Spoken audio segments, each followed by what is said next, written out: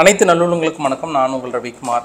இது காலை தகவலாக எடுத்துக்கலாம் இல்லை அவசர தகவலாக கூட எடுத்துக்கலாம். ஏன்னா இப்போது இருக்கக்கூடிய சூழ்நிலை என்ன? அங்கே என்ன மாதிரியான நிகழ்வுகள்? எங்கே? அப்படின்னு கேட்குறீங்களா இஸ்ரேல் லெபனான் காசா பாலஸ்தீனம் உக்ரைன் ரஷ்யா இன்னும் சுற்றி இருக்கக்கூடிய அரசியல் நிகழ்வுகளை தான் சொல்கிறேன் ஸோ காலையில் நடந்த பரபரப்பான சம்பவங்களை உங்கள்கிட்ட அப்படியே அடுக்கி வைப்பதற்காக வந்திருக்கேன். நிறைய பதற்றமான செய்திகளும் நிறைய வித்தியாசமான செய்திகளும் இன்றைக்கி நீங்கள் உணர போகிறீங்க ஒரு சின்ன எக்ஸாம்பிளோடு நான் உள்ள நுழைய நினைக்கிறேன். என்ன எக்ஸாம்பிள் அப்படின்னா துருக்கி இருக்காங்கல்ல துருக்கி அதிபர் எரடகன். அவர் வந்து என்ன பண்ணிட்டாரு? உக்ரைன்கிட்ட ஒரு அக்ரிமெண்ட்டை போட்டாங்க. ரொம்ப நாள் கொஞ்சம் தடைப்பட்டுட்டே இருந்தது. பட் இன்றைக்கி கொஞ்சம் அந்த அக்ரிமெண்ட் ஓகே ஆயிடுச்சு. என்னென்னா ஃப்ரீ ட்ரேட் அக்ரிமெண்ட் குறிப்பாக பொருளாதார ரீதியாக வலுப்பெறுவதற்கும் அது இல்லாமல் எங்களுக்கும் உக்ரைனுக்கும் இருக்கக்கூடிய அந்த உறவுகளை வலுப்படுத்துவதற்கும் இந்த ஒரு அக்ரிமெண்ட் தற்போதைய காலகட்டத்தில் மிக முக்கியமாக தேவை என்று உணர்கிறேன் என்று துருக்கி அதிபர் எரடகன் அவர்கள் உக்ரைனிடம் ஃப்ரீ ட்ரேட் அக்ரிமெண்ட்டை இன்றைக்கி வந்து ஒப்புதல் கொடுத்துருக்கிறார். இதுக்கு முன்னாடி தடையாக இருந்தது தடையை நீக்கிட்டாங்க. இது என்ன பெரிய ஒரு மாற்றம்? அரசியல் இந்த உலகத்தில் அப்படின்னு நீங்கள் நினச்சிங்க அப்படின்னா நார்மலாக உக்ரைன் இந்த பக்கம் அமெரிக்கா நேட்டோ நாடுகள் இவங்கெல்லாம் ஒரு கோர்வையில் இருக்காங்க. பட் துருக்கி மட்டும் கொஞ்சம் எதிர்நிலைப்பாடு எடுத்துகிட்டு இருந்தாங்க. அதாவது ரஷ்யாக்கிட்டேயும் பேசினாங்க. இந்த பக்கமும் வந்தாங்க. திடீர்னு அந்த பக்கமும் போனாங்க. பட் திடீரென்று ஒரே அடியாக கொஞ்சம் மனசு மாதிரி இப்போ அந்த பக்கம் போயிட்டார் அப்படின்னு கூட எடுத்துக்கலாம் நம்ம. ஏன்னா கொஞ்சம் சென்ட்ரல் பொசிஷனில் இந்த துருக்கி சமீப காலமாக பேரக்டர் ட்ரோன் கொடுத்ததுலேருந்து முழுமையாக அந்த பக்கம் மாறிட்டார் அப்படின்ற ஒரு நிலைப்பாடு இந்த இடத்துல வைக்கலாம். ஆனால் இதே சமயத்தில் ஒட்டுமொத்த பத்திரிகைகளும் என்ன மாதிரி எழுதியிருக்காங்கன்னா ஆஹா அப்போ உக்ரைன் கிட்ட ஜாயின் பண்ணிட்டார் அப்படின்னா ஒட்டுமொத்தமாக அவர் அமெரிக்காவோட நிலைப்பாடு எடுத்திருக்கிறார். அப்படி தானே நம்ம எடுத்துக்க முடியும். இப்போ அமெரிக்காவோட நிலைப்பாடு அப்படின்னும் போது அப்போ இஸ்ரேலுக்கு ஆதரவான நிலைப்பாடு எதிர்க்கிறாரா அப்படின்னு நம்ம எடுத்துட்டோம்னா நீங்கள் அது வேறு இது வேறு அப்படின்னு சொல்லிட்டாரு. அதாவது அது வேறு இது வேறு. ஆனால் அதையும் இதையும் நீங்கள் கலந்துக்காதீங்கன்னு சொல்லிட்டாங்க. ஏன்னா நீங்கள் நிறைய அரசியல் பார்த்துருப்பீங்க நீங்கள் சமீபத்தில் உங்கள் ஊர் அரசியலும் இந்த ஊர் அரசியலும் நீங்கள் நிறைய பார்த்துருப்பீங்க. அதனால உங்களுக்கு கிட்டத்தட்ட இதில் புரிஞ்சிருக்கும்னு நினைக்கிறேன் நான். இன்னும் நிறைய தகவல்கள் பேச வேண்டியது இருக்கிறது வாங்க வீடியோ கொடுக்கலாம் வீடியோ போகிறதுக்கு மாதிரி நீங்கள் நம்ம சேனல் சப்ஸ்கிரைப் பண்ணலாம். சப்ஸ்கிரைப் பண்ணிட்டு வாங்க. மறக்காம பெல் பட்டன் கிளிக் பண்ண ஆப்ஷன்ஸ் கொடுங்க. வீடியோ கொடுக்கலாம்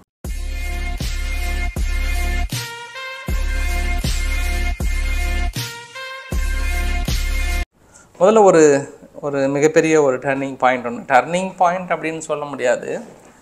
குறிப்பாக இலங்கை புதிய அதிபர் அனுரா சிறநாயக் அவர்கள் தேர்ந்தெடுத்தாங்க இல்லையா? தேர்ந்தெடுத்ததுக்கப்புறம் அஹ் பத்திரிகைகள் அப்படி இப்படி அப்படின்றலாம் நிறைய விஷயங்கள் நீங்களும் பார்த்துருப்பீங்க. நான் கூட ஒரு சில விஷயங்கள் சொன்னேன் இல்லையா?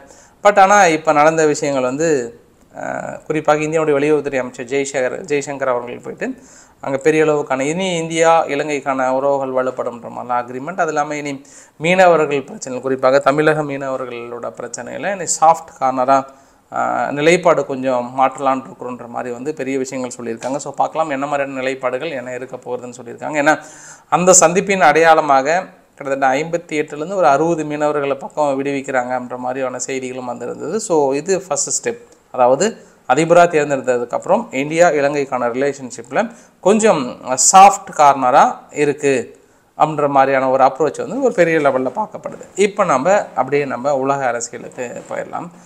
குறிப்பாக சமீப காலமாக கடந்த இரண்டு மூன்று நாட்களாக பெரிய அளவுக்கு பேசப்படுகிற தலைவர் யார் அப்படின்னா ஈரானுடைய வெளியுறவுத்துறை அமைச்சர் அராச்சி அவர்கள். இதுக்கு முன்பு நான் அரங்கச்சி அப்படின்னு சொன்னேன். அந்த ஜிஹெச் வந்து சைலண்ட் லெட்டர் அதனால் வந்து அராச்சி என்று சொல்லப்படுகிறது. அதனால் அபாஸ் அராச்சி அவர்கள் லெபனான் போயிருந்தார். லெபனானில் போயிட்டு தன்னுடைய நிலைப்பாடும் ஹெஸ்புல்லாவுக்கான ஆதரவுக்கான நிலைப்பாடும் வந்து தெளிவாக அனௌன்ஸ் பண்ணியிருந்தார். அது இல்லாமல் அங்கே போகும்போதே மனுஷன் டேராக தான் போனார். பலவித எதிர்ப்புகள்லாம் மீறி அங்கே போயிட்டு அதுக்கப்புறம் அங்கேருந்து நேராக சிரியாவுக்கு போகிறாரு சிரியாவில் போய் டமாஸ்கஸில் இறங்குறாரு.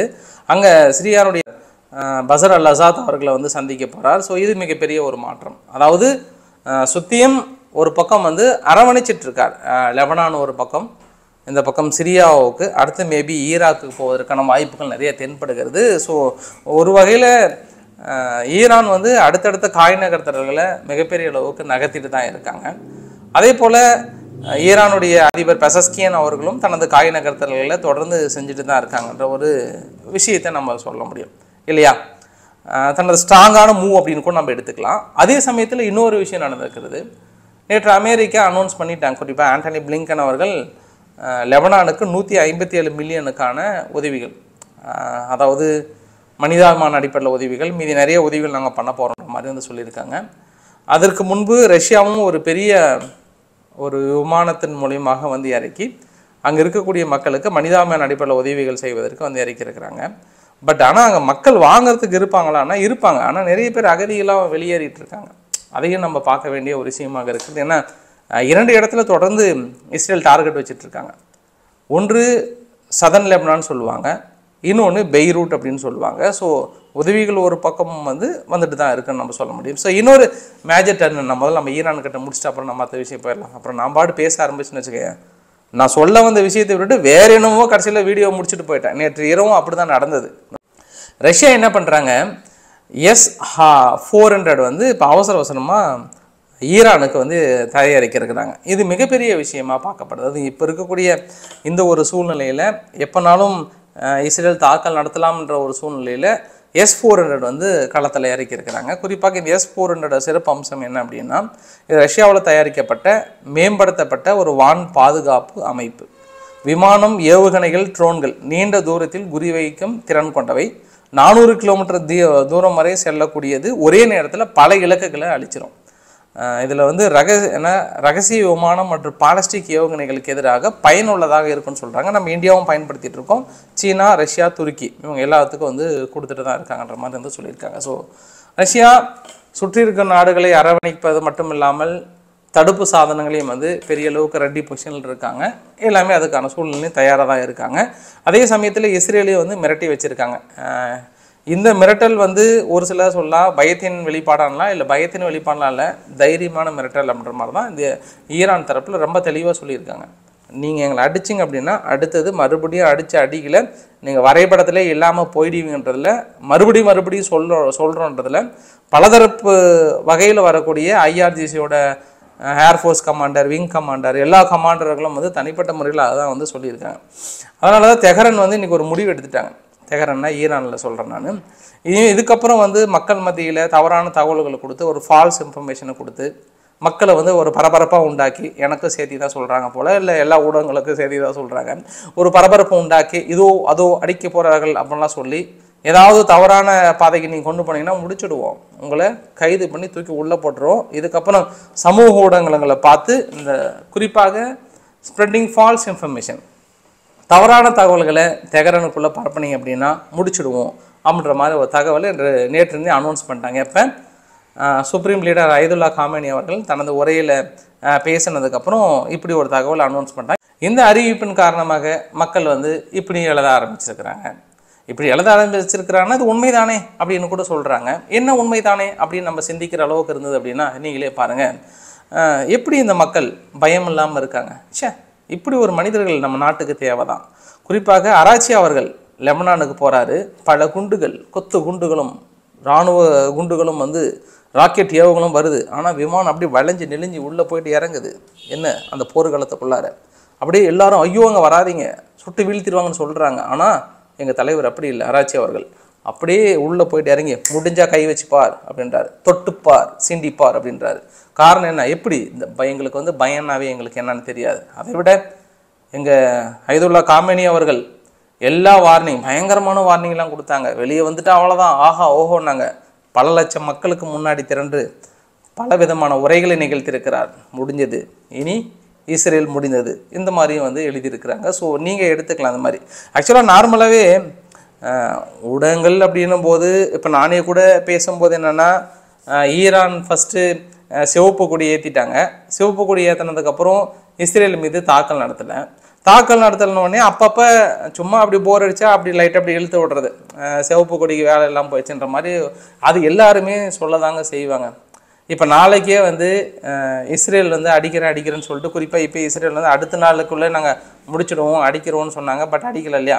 இது தொடர்ந்து ரெண்டு வாரமாக இல்லை சப்போஸ் இஸ்ரேல் அடிக்காமல் போயிட்டாங்கன்னா இஸ்ரேலும் இந்த மாதிரியான சொற்களுக்கு உள்ளாக்குவாங்க. அது ஈரான் மட்டுமல்ல அது உலகத்தின் விதி விளக்கு அது. இப்போ எல்லாருமே சொல்லுவாங்க இன்று வரை ஈரானை வந்து ஒரு மாதிரி இன்க்ளூடிங் நான் மைசெல்ஃப் நீங்கள் என்னைய கூட சொல்லிக்கலாம். ஈரான் வந்து இப்படி சிவப்பு கொடியது தாக்கல் நடத்தாம போயிட்டாங்க. அப்படி இப்படி அப்படி அப்படின்ற மாதிரிலாம் சொன்னோம். பட் இன்று ஈரான் வந்து உயர்ந்து நிற்கிறாங்க ஆஹா முடிச்சிட்டாங்க. இஸ்ரேலை செதைச்சிட்டாங்க. எல்லா அவங்களுடைய விமான நிலையங்கள் தகர்க்கப்பட்டிருக்கிறது. முக்கியமான நிலையங்கள் அடிக்கப்பட்டிருக்கிறது ஒழிக்கப்பட்டிருக்கிறது தகர்க்கப்பட்டிருக்கிறதுன்ற மாதிரிலாம் இன்னைக்கு நிறைய அடுத்தடுத்த பதிவு. நேற்று பதினெட்டுன்றாங்க. இன்னைக்கு இருபத்தஞ்சு பாலிஸ்டீக் ஏவுகணைகள் வைத்த குறி தவறாமல் இஸ்ரேல் நிலைகளுக்குள் விழுந்து பெரிய சேதாரத்தை ஏற்படுத்தியிருக்கிறது. இஸ்ரேலுக்குள் ஒரு பயத்தை கிளப்பியிருக்கிறது. அப்படின்ற மாதிரிலாம் வந்து சொல்லப்படுகிறது. ஏன்னா சேதாரம். அது நல்லாவே தெரியுது. ஸோ இதெல்லாம் பார்க்கும்போது அது இருக்குதாங்க செய்யும். இந்த பக்கம் அந்த பக்கம் சொல்ல தானே செய்வாங்க. ஆனால் அதை மிரட்டி கைது அளவுக்கு போகாதீங்க. நான் இங்கே இந்தியாவில் இருக்கிறனால நான் தைரியமாக சொல்கிறேன் அவ்வளோ சீக்கிரம் ஈரான் இங்கே வந்து கைது பண்ணாதுன்ற தைரியத்தில் இருக்கேன். மேபி நம்ம டூர் போகும்போது பேசிக்கலாம். ஈரான் நான் எதுக்கு ஈரானில் டூருக்கு போகிறேன் அது ஒரு விஷயத்தையும் பார்த்துடலாம். அதை விட மிக முக்கியமான விஷயம் என்ன அப்படின்னா அமெரிக்கானுடைய நிலைப்பாடு கொஞ்சம் அப்படியே மாறி மாறி இருக்குங்க. இந்த பக்கம் என்னென்னா ட்ரம்ப் ட்ரம்ப் அவர்கள் வந்து என்ன சொல்கிறாங்கன்னா இஸ்ரேல் முடச்சடு. அவங்களுடைய நியூக்ளியர் ஆயில் ஃபெசிலிட்டிஸ் எல்லாத்தையும் ஒன்று கூட விடாத. முடிச்சிட உங்களுக்கு சப்போர்ட் பண்ணுறேன் அப்படின்றாரு. ஆனால் இந்த பக்கம் பைடன் அவர்கள் என்ன சொல்கிறாருன்னா no no no only oil ஃபீல்டை மட்டும் அடிங்க. அதுவுமே லிமிட்டடாக அடிங்க. வலிக்காம அடிங்க. சும்மா நீங்கள் பாட்டு அடிக்கக்கூடாது ஆனால் ஒரு விஷயம் இந்த ஒரு வார்த்தை சொல்கிறதுனால ஏதோ நாங்கள் நெதனியாவுக்கு உதவியே செய்யாத மாதிரி ஏதோ நாங்கள் இஸ்ரேலை கழட்டி விட்ட மாதிரி அப்படிலாம் நினைக்கிறாங்க. தவறு. அது மிக மிக தவறு. நாங்கள் பண்ணாத உதவிகள் கிடையாது. அது வந்து எல்லாத்துக்கும் உலகமே அறிந்த விஷயம். அது வந்து நெதனியாக அவர்களுக்கும் தெரியும். ஸோ ஏதோ நாங்கள் இஸ்ரேலுக்கு எதிரானவர்கள் மாதிரிலாம் வந்து பெம்பம் காட்டுறாங்க. நாங்கள் பண்ண உதவியை விட வேறு யார் செஞ்சுருப்பாங்க? வேறு யாருமே செஞ்சுருக்க மாட்டாங்க அப்படின்ற ஒரு வார்த்தையும் வந்து சொல்லியிருக்காங்க.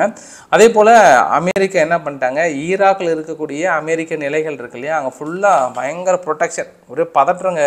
நேற்றுலேருந்து அதை எப்படி உங்களுக்கு சொல்கிறேன்னா இந்த பக்கம் ஓடுறது ஓடியாடுறது அந்த பக்கம் வான் தடுப்பு சாதனங்களை நிறுத்துறது இன்னும் அதிகமான வீரர்களை இறக்குங்க அப்படின்ற மாதிரி அந்த பரபரப்பு பார்த்தா உங்கள் கண்ணுக்குள்ளே தெரிகிற அளவுக்கான ஒரு பரபரப்பு.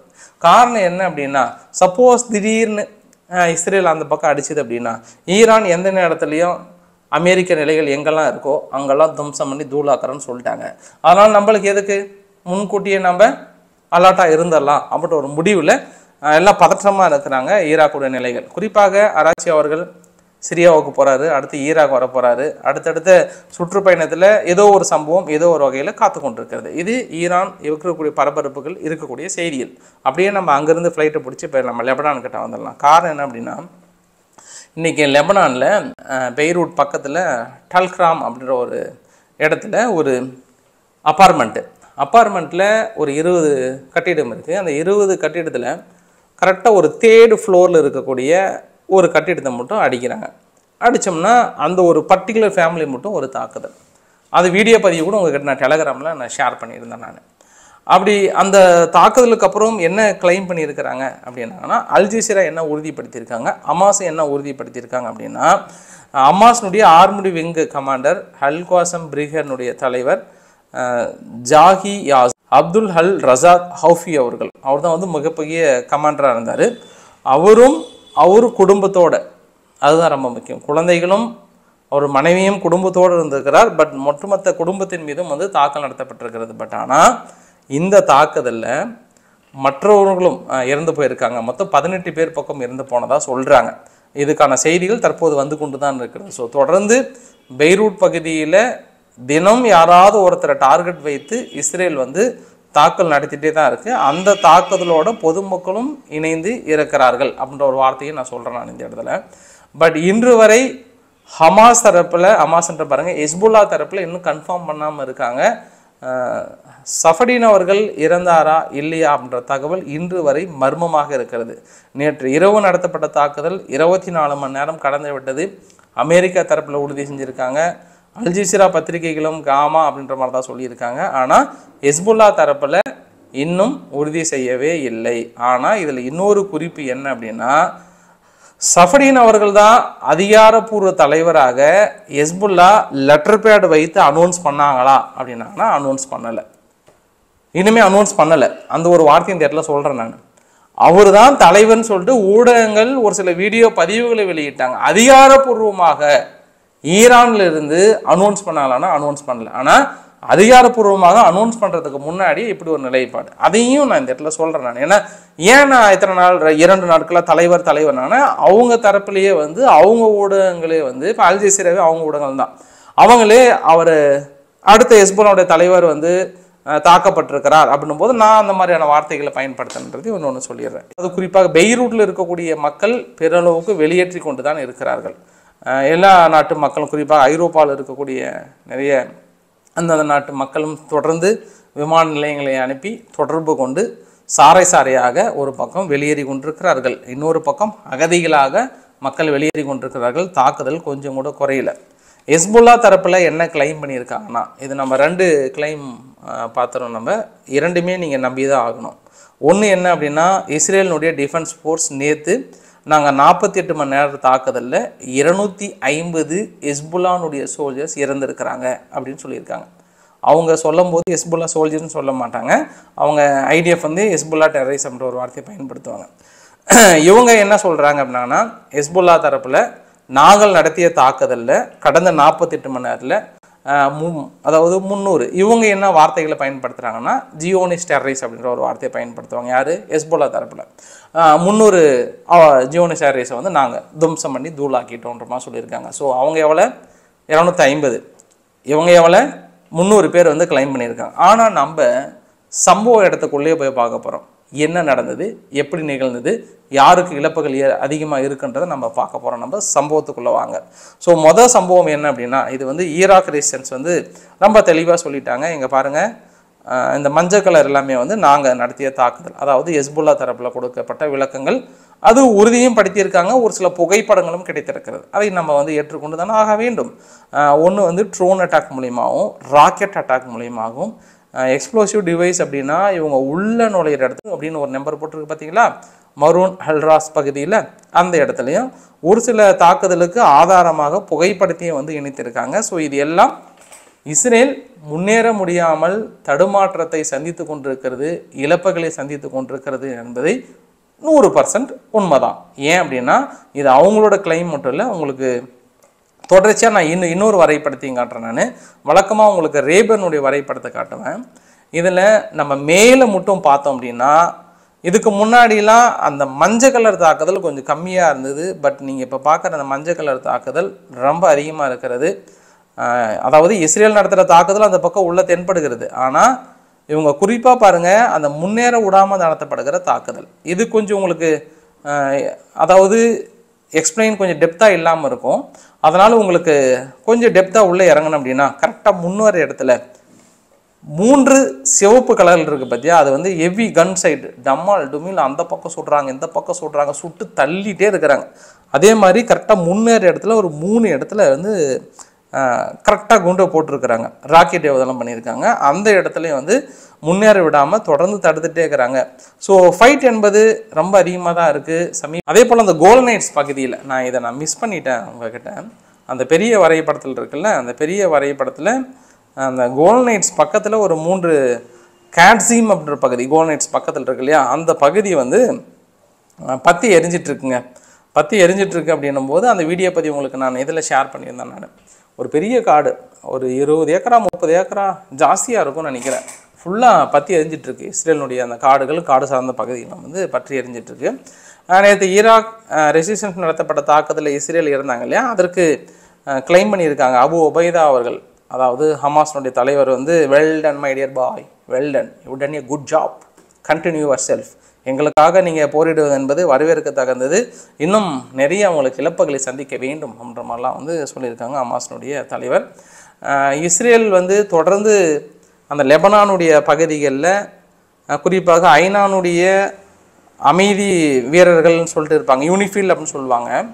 அதில் ஒட்டுமொத்தமாக ஒரு நூறு நாடுகள் பக்கம் இருக்காங்க. அதில் அயர்லாந்தில் இருக்கக்கூடிய வீரர்கள் அங்கே இருக்காங்க. ஆனால் அயர்லாந்து என்ன சொல்லிட்டாங்கன்னா இஸ்ரேல் கொடுக்குற அறிவிப்புனால எங்களால வெளியேற முடியாது. நாங்கள் அங்கே தான் இருப்போம். நாங்கள் வந்து பக்கத்துலேயே விழுந்து வெடிச்சா கூட இப்படி தள்ளிட்டு போயிட்டே இருப்போம். எங்களெல்லாம் வெளியேற சொல்லாதீங்க.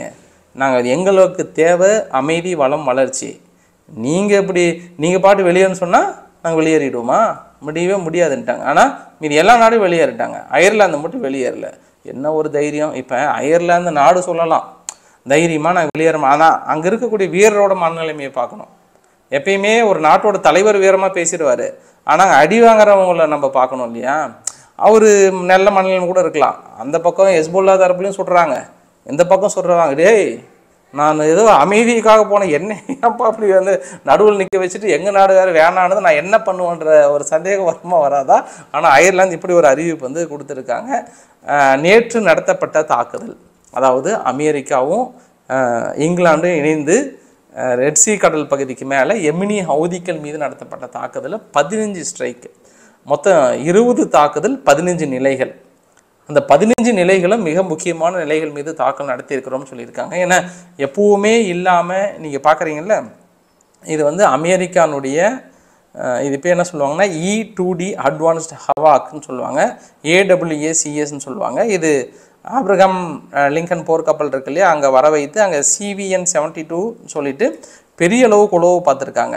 இந்த விமானம் நார்மலாகவே பெரிய அளவுக்கு எதிரிகளுக்கு சிம்ம சொப்பனமாக இருக்கும். ட்ராக்கிங் த்ரெட்டிங் அப்படின்னு சொல்லுவாங்க. அப்படி இல்லைன்னா ஒரு மிசைல்ஸ் ஏதாவது ஏவுகணை செலுத்தினாங்கன்னா அது அதனுடைய ஜிபிஎஸ் சிக்னலை வந்து சீர்குலைச்சிரும். இன்னும் பெரிய அளவுக்கான டேட்டா வந்து ட்ராக் பண்ணும்.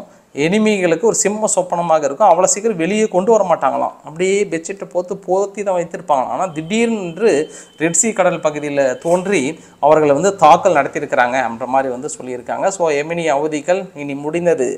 எங்களை வந்து பல தடவை தொட்டுட்டீங்க.